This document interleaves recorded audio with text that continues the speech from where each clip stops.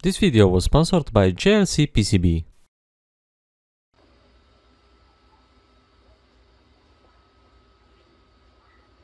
Hello everyone, today I've got for you a brand new side loader.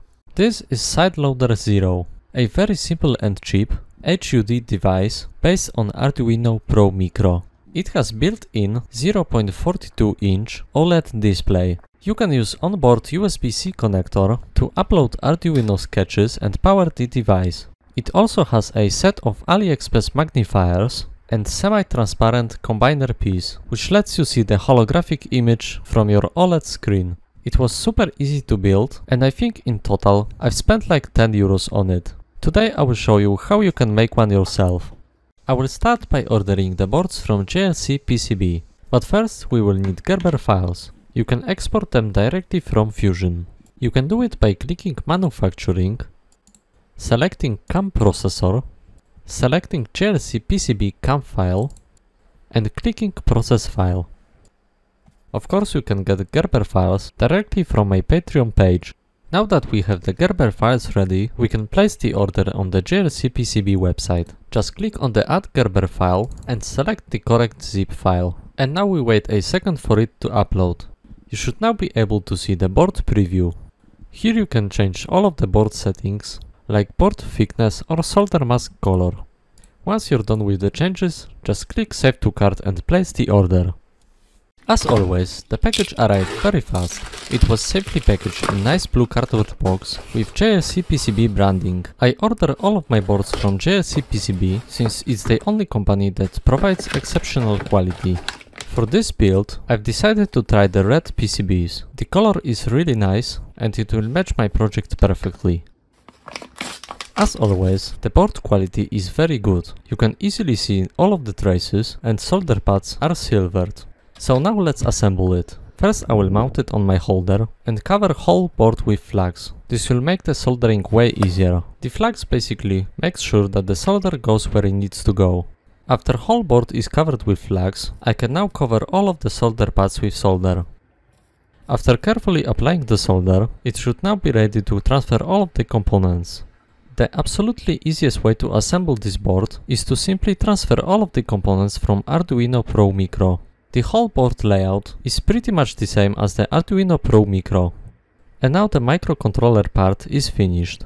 It still needs some more components for the display part.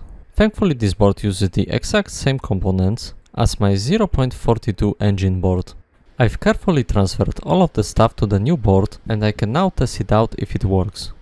But before I do that, let's clean the board a little using alcohol.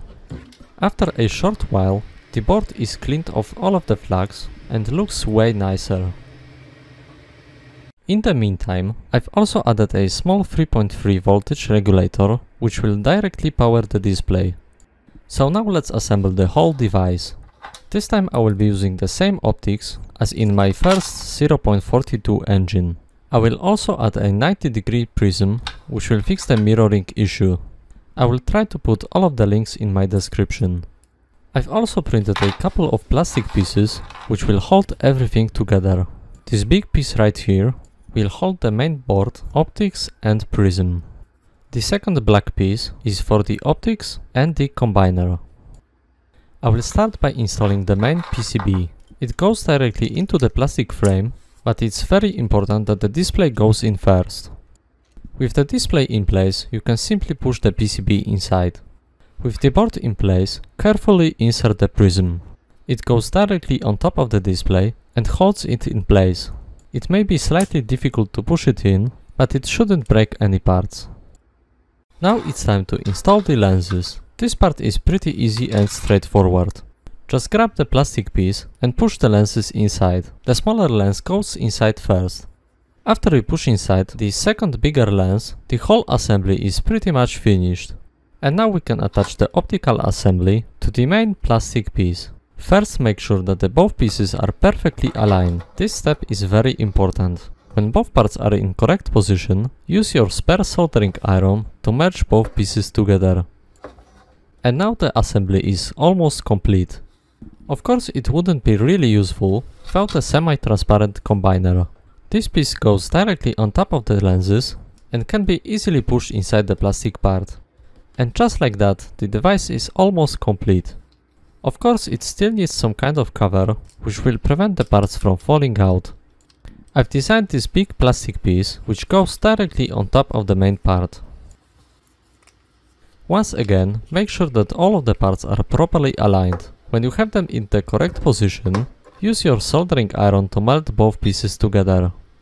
And now the side loader is finally finished. You can plug it into your PC and see if everything works properly.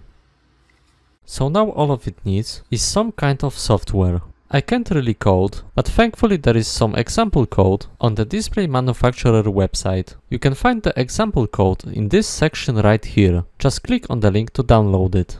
Now that we have the software ready, we can upload it to SideLoader. This is super simple. Just connect the USB-C cable and select the correct board in Arduino IDE. And now click upload. You should now be able to see a bunch of bitmaps. Of course you can put here anything you want, it works like a basic SPI screen. Anyway, that's all for today. Thanks for watching and hope to see you in the next video. And as always, huge thanks to my patrons. See you later and goodbye.